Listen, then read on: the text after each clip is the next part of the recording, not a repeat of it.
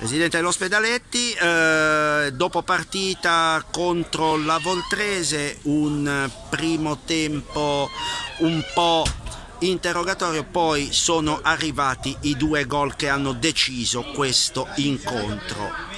Un Ospedaletti che non molla, in testa alla classifica, gran bel duello con la Luanesi a sua volta.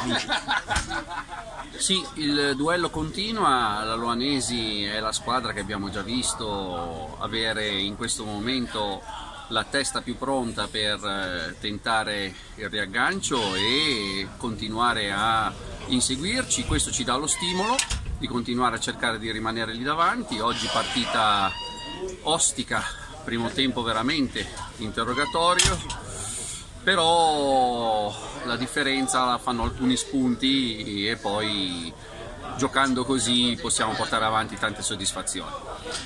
Una squadra l'Ospedaletti che sa soffrire, l'abbiamo già visto, si è visto anche oggi, una squadra che comunque al momento di calare il colpo risolutore non si fa mai trovare impreparata una squadra di ragazzi eccezionali, tutti quanti pronti a soffrire e, e, ad aspettare il momento giusto.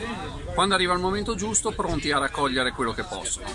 Sono molto soddisfatto, ma i lavori del, del mister e del suo staff importantissimo che porta questo, questa mentalità alla squadra. Continuiamo così, siamo pronti a continuare. Benissimo, ringraziamo il presidente dell'Ospedaletti per Settimana Sport.